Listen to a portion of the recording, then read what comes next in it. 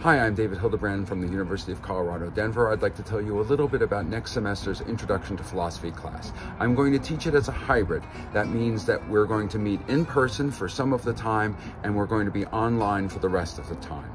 As far as in person, we're going to have 11 class meetings on campus in a classroom. We're going to get to know each other. We're going to get one another's perspectives on the material. We're going to be able to answer questions and get into conversation about philosophy.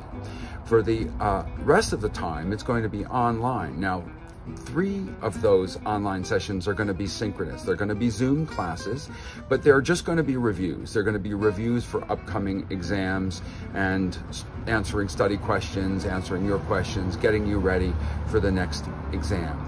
As far as the rest of the class, it's going to be asynchronous online. I'm going to release a module every week. That module is going to have readings, it's going to have videos, it's going to have discussion questions and threads where we can interact in an asynchronous threaded discussion kind of way. We're going to have all of our exams and papers that we have for the class are going to be submitted online and we're going to have office hours on Zoom as well. So if you need to meet with me, you'll be able to meet with me online on Zoom if that's your preference. Introduction to Philosophy Hybrid is going to happen with the following four sections or parts. In part one, we're going to look at the question, what is the meaning of life? Are there certain activities which are constitutive of a meaningful life?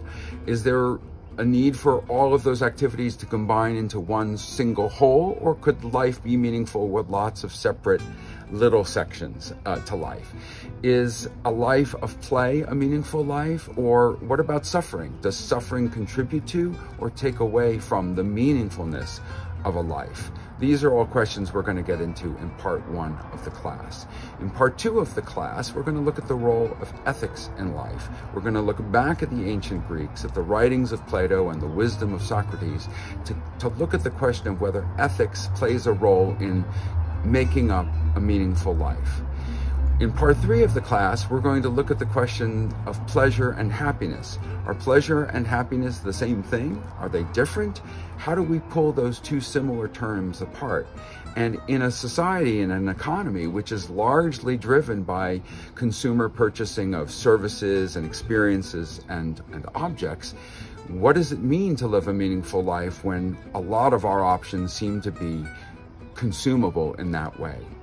Finally, in the fourth part of the class, we're going to look at the question of religion. Basically, we're going to look at the question of whether the belief in a higher being and a higher power or powers is necessary for removing ourselves from some of the despair we can feel in life, the existentialist kind of despair.